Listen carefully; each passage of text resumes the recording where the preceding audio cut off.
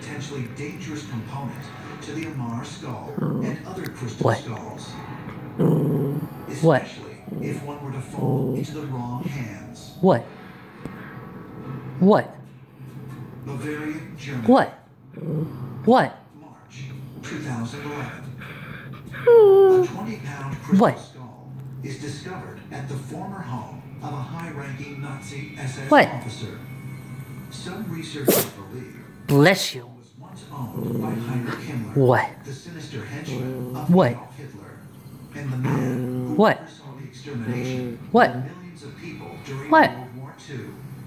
I, for one, think that probably Heinrich Himmler uh, Really? procured a crystal skull. What? Nazis were really obsessed with procuring What? ancient knowledge. And part of that What's wrong? knowledge was with What? crystals.